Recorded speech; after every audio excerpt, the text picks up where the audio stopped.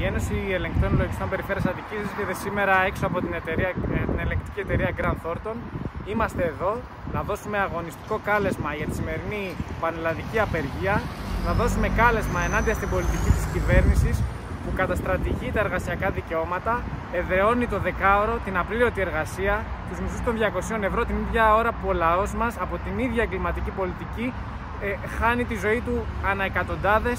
ε, λόγω των ελληπέστατων μέτρων που η κυβέρνηση, δεν έχει, που, η κυβέρνηση έχει πάρει. Καλούμε τους εργαζόμενους, ελεγκτικές, στα λογιστικά γραφεία, όλη την εργατική τάξη να ορθώσει το ανάστημά της ενάντια σε αυτή τη βάρβαρη πολιτική.